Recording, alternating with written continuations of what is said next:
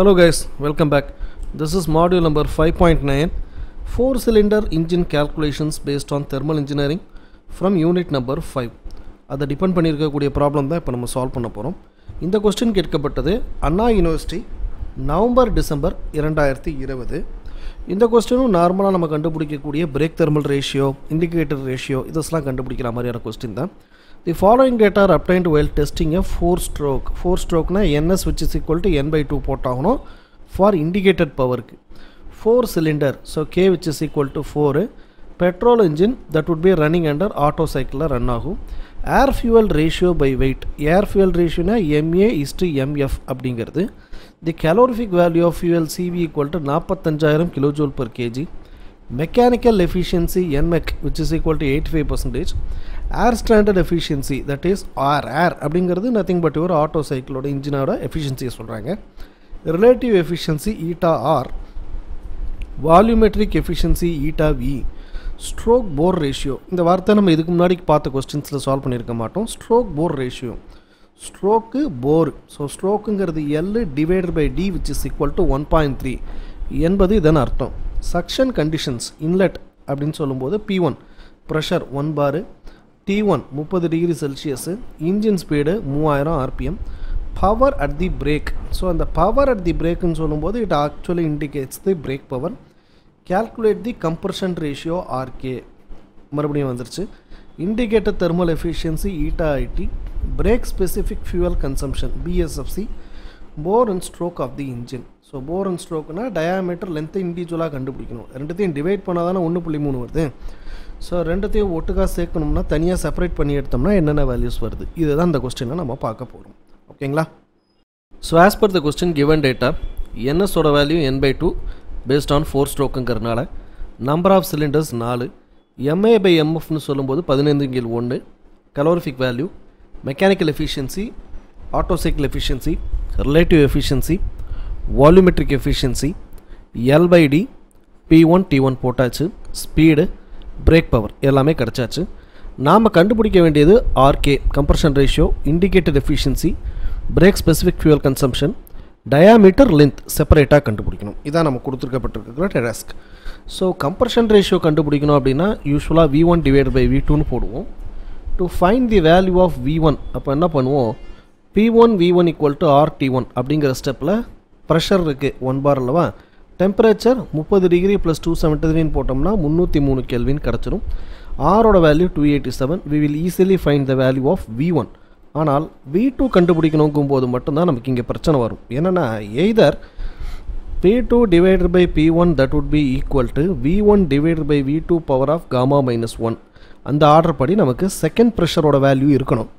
அல்லது டெம்பரேச்சராவது இருக்கணும். T two divide by T one equal to V one by V two power of gamma இங்கே ப்ரெஷரில் gamma மட்டும்தான் வரும்னு நினைக்கிறேன். இங்கே காமா மைனஸ் ஒன் ஸோ இந்த ஸ்டெப் படி நமக்கு பார்க்குறதுக்கு செகண்ட் டெம்பரேச்சர் செகண்ட் ஸ்டேஜோட டெம்பரேச்சரும் இல்லை.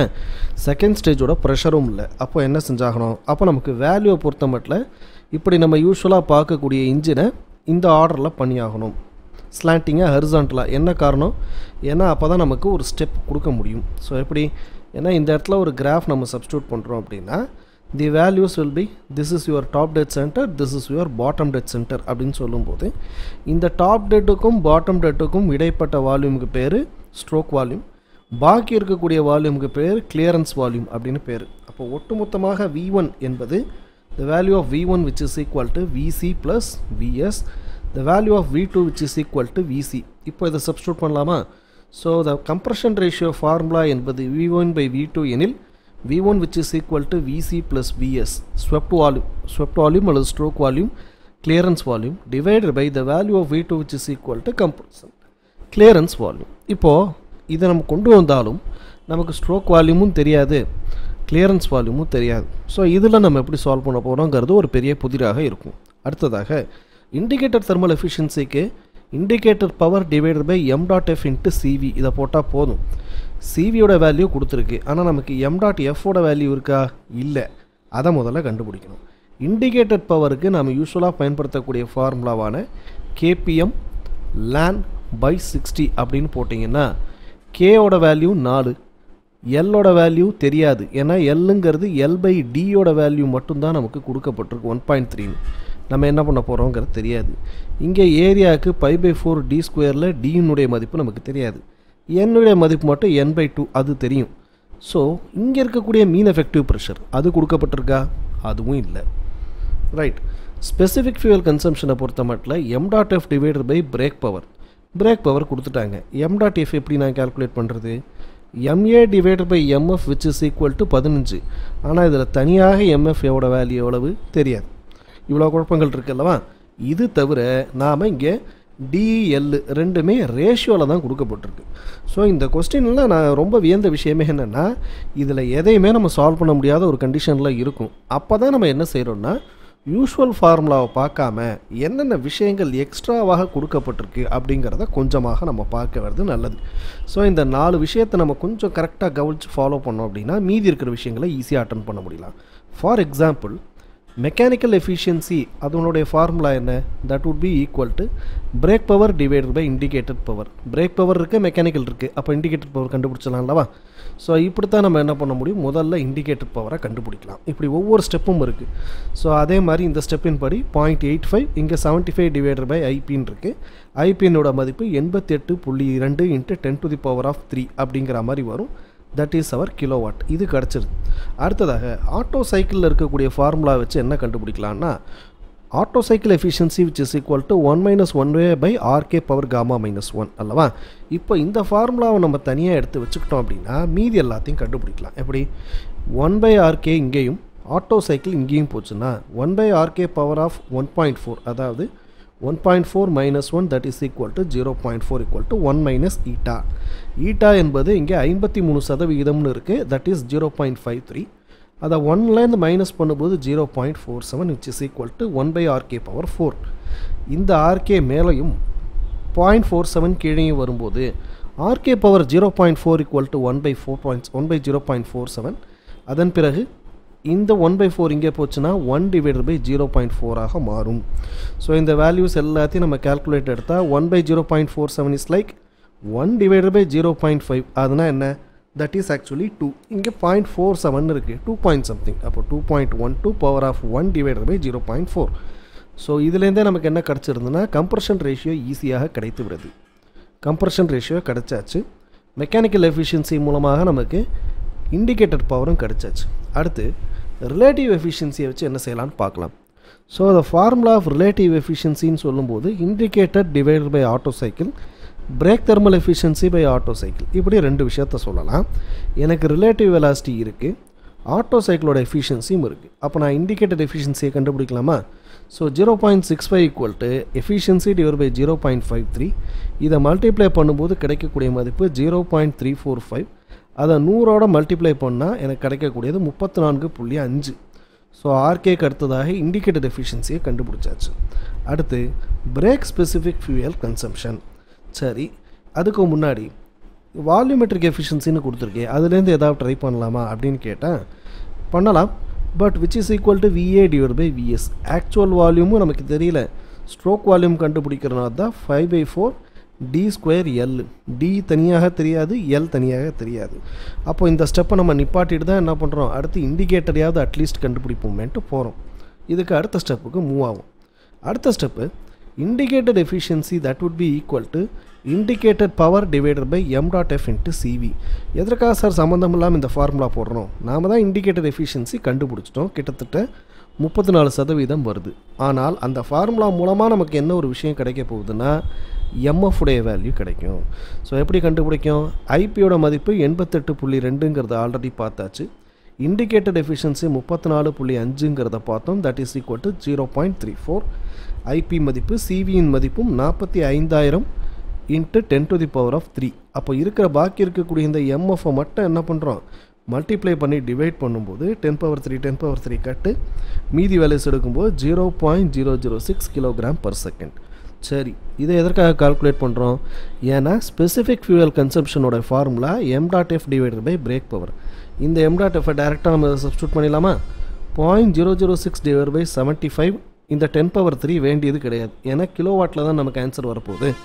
கொண்டு வரும்போது seven point six into ten power minus five kilogram per kilo watt second இந்த செகண்டை ஹவராக மாற்றினோம்னா மூவாயிரத்தி இரநூறு மல்டிப்ளை பண்ணோம் and finally got zero point two eight kilogram per brake power hour so இப்போ எனக்கு முதல்ல வந்து கிலோகிராம் பர் கிலோவாட் செகண்ட் கரெக்டாக அல்லது kilogram divided by kilowatt hour கரெக்டாக அப்படிங்கிறதுக்கு கொஸ்டினை ஒரு தடவை நீங்கள் திருப்பி பார்க்கணும். கொஸ்டினில் சாதாரணமாக பிரேக் ஸ்பெசிஃபிக் ஃபியூவல் கன்சப்ஷன் தான் கேட்டிருக்கு. அது இந்த யூனிட்டில் தான் வேணும்னு அவங்க கேட்கல. பொதுவாக நாம் கால்குலேட் பண்ணக்கூடிய unit in terms of hour இருக்கிறதுனால ஹவர் பேஸ்டு கால்குலேஷனில் பிஎஃப்எஸ்எஃப்சி போட்டாச்சு. இப்போ இவ்வளோ விஷயம் கண்டுபிடிச்சாச்சு. டிஏயும் எல்லையும் நம்ம கண்டுபிடிக்கவே இல்லை. அது எப்படி கண்டுபிடிக்கலாம்? We can try with another step நமக்கு தான் அதுக்காக தான் கொடுத்துருக்காங்க. MA by MF which is equal to பதினைந்து. அப்போது எம்ஏ ஈக்குவல் டு பதினைந்து இன்ட்டு எம் டாட் எஃப் அல்லவா? Zero point zero six multiply பண்ணால் ஜீரோ பாயிண்ட் நைன் இது எதுக்காக சார் கண்டுபிடிக்கணும் ஏன்னா PA VA equal to M into A into M dot A R into TA அதன் மூலமாக நம்ம ஆக்சுவல் வால்யூம் கண்டுபிடிக்கலாம். ஓகே சரி. ஆக்சுவல் வால்யூம் எது கண்டுபிடிக்கிறோங்கிறதையும் சொல்கிறேன் the value of VA will be equal to MA point nine R இரநூத்தி எண்பத்தேழு. டெம்பரேச்சர் முந்நூற்றி மூணு. Divided by pressure one into ten to the power of five நூற்றி அஞ்சு கிடையாது ஞாபகத்தில் இருக்கட்டும். Ten to the power of five so இதை டிவைட் பண்ணும்போது zero point seven eight metre cube per செகண்டுங்கிற ஒரு மதிப்பு கிடைக்குது. ரைட் இப்போ என்ன செய்யலாம்? விஎஸோட வேல்யூவை கண்டுபிடிக்கலாம். ஸோ ஃப்ரம் தட் விஎஸ் மேலே போகுது வால்யூம் கீழே வருது. VA divide by volumetric efficiency விஏயின் மதிப்பான zero point seven eight divided by volumetric efficiency வேல்யூவான எண்பது சதவீதத்தை ஜீரோ பாயிண்ட் எயிட்னு எடுத்து எழுதலாமா? அந்த வேல்யூவை டிவைட் பண்ணும்போது zero point nine eight metre cube per second இன்னமும் நமக்கு ஒரு குழப்பம் என்னென்னா இப்போ எதுக்கு இந்த எம்டாட்டியாவை கண்டுபிடிச்சோம்? இதுலேருந்து ஏன் விஏவை கண்டுபிடிச்சோம்? அட இதுலேருந்து எதுக்கு விஎஸை கண்டுபிடிச்சோன்னா இந்த கடைசியாக இருக்குது பார்த்திங்களா இந்த டியும் எல்லையும் இதை கண்டுபிடிக்கிறதுக்கான போராட்டம் தான் இவ்வளோ தூரம் வருது. So moving to VS equal to zero point nine eight metre cube per second பொதுவாக விஎஸோட ஃபார்முலா என்ன? Pi by four D square L into N divided by sixty இந்த வெறும் pi by four D square என்பது metre cube இந்த N by sixty போடும்போது per செகண்டாக மாறுது. இதோட ஒன் பை செகண்ட் அது மல்டிப்ளை ஆகுது. அப்படி வச்சுங்க. அதுதான் இதற்கான சரியான விடையாக இருக்கும். ஸோ மீட்டர் கியூப் பர் செகண்டாக மாறும். L divided by D which is equal to one point three எனில் L which is equal to one point three into D அதை முதல்ல தனியாக எடுப்போம். ஸோ என்ன சப்ஸ்டியூட் பண்ணுறேன் இந்த என்னோட வேல்யூவான மூவாயிரம் டிவைடட் பை அறுபது. Pi by four into D square into one point three இந்த எல்லினுடைய மதிப்பான one point three which is equal to zero point nine eight இங்கே நம்ம தேவையான கட் எல்லாத்தையும் நம்ம கொடுக்கும்போது கரெக்டாக வி காட் ஐம்பது. அதுக்கப்புறம் இங்கேருந்து ஐம்பதுலேருந்து நாலுலேருந்து கட் பண்ணும்போது ஒன் பை ஒன்னாக கட் பண்ணக்கூடிய வேல்யூஸ் எனக்கு ஐம்பத்தி ஒன்று D cube equal to zero point nine eight the value of D cube will be equal to இந்த ஐம்பத்தி ஒன்று கீழே டிவைட் ஆகுது. ஆகும்போது two point one two something அப்படிங்கிறது கிடைக்கும். இந்த டூ பாயிண்ட் ஒன் டூலேருந்து three is going there like one divided by three so two point one two power of one by three that is equal to zero point two seven metre இப்போ நம்ம என்ன செய்யலாம்? இந்த one point three into டெய் டியோட வேல்யூவான zero point two செவனை இங்கே சப்ஸ்டியூட் பண்ணலாம். பண்ணும்போது எனக்கு கிடைக்கக்கூடிய value zero point three five metre. ஓகேங்களா? ஸோ இப்படித்தான் நமக்கு என்ன ஆகுது அப்படின்னு கேட்டிங்கன்னா இந்த ரிசல்ட்டை பேஸ் பண்ணி வரும்போது நம்ம ரொம்பவே தடுமாறி இருக்கும். ஏன்னா கம்ப்ரஷன் ரேஷியோ கண்டுபிடிக்கிறோங்கிறதுக்காக நம்ம ஆட்டோ சைக்கிள் எஃபிஷியன்சியை பேஸ் பண்ணி நம்ம போனோம். அடுத்து இண்டிகேட்டட் எஃபிஷியன்சியை கண்டுபிடிக்கிறதுக்காக என்னென்னலாம் பண்ணோம்? முதல்ல மெக்கானிக்கல் எஃபிஷியன்சிலேருந்து ஐபியோட வேல்யூவை எடுத்து அதுக்கப்புறமா ஐபிபிபியை கம்பேர் பண்ணுறது அதுக்கப்புறமா அங்கேருந்து நம்ம ஐடி வேல்யூ கண்டுபிடிச்சோம். எஸ்எஃப்சி கண்டுபிடிக்கிறதுக்காக நம்ம பட்டதும் கொஞ்சம் நஞ்ச வேலைகள் இல்லை. எம்டாட் எஃப் கண்டுபிடிக்கிறதுக்காக எம்டாட் ஏக்கு போகிறோம் வி ஆஃப் ஏக்கு போகிறோம் விஎஸோட வேல்யூவை கண்டுபிடிக்கிறோம். அப்புறம் இந்த எம்டாட் எஃப் கண்டுபிடிக்கிறதுக்கு அதே இண்டிகேட்டர் எஃபிஷியன்சி ஃபார்முலாலேருந்து எம்டாட் எஃப் கண்டுபிடிக்கிறோம். திருப்பி இந்த விஎஸ்லேருந்து ஃபைனலாக டிஐயும் எல்லையும் கண்டுபிடிக்கிறோம். இந்த கொஸ்டினில் என்னமோ அவங்க கேட்டது நாலே நாலு ஆன்சர் தான் கேட்டாங்க. ஆனால் அந்த நாலு ஆன்சர் கண்டுபிடிக்கிறதுக்குள்ளே கிட்டத்தட்ட ஒரு பத்து ஆன்சர் நம்ம சால்வ் பண்ண வேண்டியதாக இருக்குது இந்த மாதிரியான கொஸ்டின்ஸ் தான் உங்களுக்கு ரொம்ப ரொம்ப இம்பார்ட்டண்ட் ஏன் இதை நான் சொல்கிறேன்னா ஒரு கொஸ்டினை நீங்கள் சால்வ் பண்ணுறதுக்கு நிறைய லாஜிக் தேவை. ஸோ அந்த மாதிரியான லாஜிக் அதிகமாக இருக்கக்கூடிய கொஸ்டினாக இந்த மாதிரியான கொஸ்டின்ஸை நான் பார்க்குறேன். சரிங்களா? இந்த மாதிரியான கொஸ்டின்ஸில் ஐடியாஸ் கொடுக்க முடியுமா அப்படின்னு கேட்டால் கொஞ்சம் கஷ்டம்தான் பட் இருந்தாலும் முயற்சி பண்ணுறதுக்கு முயற்சி பண்ணுவோம் ஒரு வகையில். என்னென்ன மாதிரி இதில் கொஞ்சம் மாற்றங்களை கொண்டு வரலாம்? மெத்தட் அப்படியே இருக்கட்டும். ஒருவேளை என்னுடைய மாசுக்கும் ஃபியூவலுக்கும் இருக்கக்கூடிய ரேஷியோ பத்தாக இருந்துச்சு பதினஞ்சுன்னு இருந்துச்சு இப்போ எனக்கு டென்னுன்னு ஆச்சு அப்படின்னா இந்த கொஸ்டினில் ஏற்படக்கூடிய மாற்றங்கள் என்னவாக இருக்குது ஏன்னா இதோட மாற்றங்கள் நேரடியாக எதில் போய் பாதிக்கும் அப்படின்னு கேட்டிங்கன்னா இண்டிகேட்டர் எஃபிஷியன்சியில் பாதிக்கும் ஸ்பெசிஃபிக் ஃபியூவல்லையும் பாதிக்கும். கரெக்ட்டுங்களா அதன்படி நீங்கள் மற்ற விஷயங்கள் பார்க்கலாம். இந்த ரெண்டு இடத்துலையும் கண்டிப்பாக மாட்டும். ரைட் ஒருவேளை ஆட்டோ சைக்கிள் எஃபிஷியன்சி எனக்கு ஐம்பத்தி மூணு சதவீதம் தான் இருக்குது அதனால் என்னோடய ஆட்டோ சைக்கிள் எஃபிஷியன்சியோட மதிப்பை கிட்டத்தட்ட நான் ஒரு எழுபத்தி அஞ்சு அப்படின்னு வைக்கிறேன்னா அப்போ என்னோடய ஆர்கேவோட மதிப்பு என்னவாக இருக்கும்? எஃபிஷியன்சி அதிகமாக அதிகமாக கம்ப்ரஷன் ரேஷியோ அதிகமாகுதா குறையுதா? அப்படிங்கிறத ஒரு அனாலிசிஸ் பார்த்து தெரிஞ்சுக்குங்க. ரைட்டா அதுக்கடுத்து volumetric efficiency and relative efficiency பேஸ்டில் வரக்கூடிய ஒரு சில விஷயங்கள் இருக்குது பார்த்தோன்னு நினைக்கிறேன். இதில் சிவியோட வேல்யூவில் எதுவும் மாற்றங்கள் ஏற்படுத்த முடியாது. Then volumetric and relative efficiency okay relative எஃபிஷியன்சிலையும் ஒரு சின்ன சேஞ்ச் வரும். So why don't we consider this relative efficiency the value should be equal to ஒரு ஃபிஃப்டி பர்சன்டேஜ்னு எடுங்க. அறுபத்தஞ்சிலேருந்து நான் என்ன பண்ணுறேன் இப்போ அதை குறைக்கிறேன். ஐம்பது சதவீதம்னு ஒன்று எடுங்க. எழுபத்தஞ்சு சதவீதம்னு இன்க்ரீஸ் பண்ணும். இப்படி ரெண்டு இடத்துல சேஞ்ச் பண்ணும்போது என்னென்ன விஷயங்கள்லாம் ஏற்படுது? ஸோ ஆட்டோ சைக்கிள் எழுபத்தஞ்சுனே இருக்கட்டும். அதில் மாற்றம் வேண்டாம். ரிலேட்டிவ் எஃபிஷியன்சி அறுபத்தஞ்சு சதவீதம் எழுபத்தஞ்சு சதவீதம் ரெண்டு காம்பினேஷனில் சால்வ் பண்ணுங்க. அப்படி சால்வ் பண்ணும்போது வித்தியாச வித்தியாசமான நிறைய ஆன்சர்ஸ் உங்களுக்கு கிடைக்கிறதுக்கான வாய்ப்புகள் இருக்குது சரிங்களா? இதை தாண்டி இந்த கொஸ்டினில் தேவையில்லாமல் நம்ம நிறைய விஷயங்கள் சொன்னோம் அப்படின்னா உங்களுக்கும் ரொம்ப ஹெக்டிக்காக இருக்கும். அப்படிங்கிறதுனால நம்ம இதோட நிப்பாட்டிக்கலாம். சரியா? வீடியோ பிடிச்சிருந்துச்சு அப்படின்னா உங்கள் ஃப்ரெண்ட்ஸ் அண்ட் ஃபேமிலிக்கு ஷேர் பண்ணுங்கள் முக்கியமாக எக்ஸாம் எழுதக்கூடிய உங்களுடைய நண்பர்களுக்கு நிச்சயமாக ஷேர் பண்ணுங்கள் அவங்களுக்கு ரொம்ப யூஸ்ஃபுல்லாக இருக்கும் அப்படின்னு தெரியப்படுத்திக்கிறோம். தொடர்ந்து ஆதரவளிக்க please like the content share the content put your comments in the comments box thanks for வாட்சிங் திஸ் வீடியோ தேங்க்யூ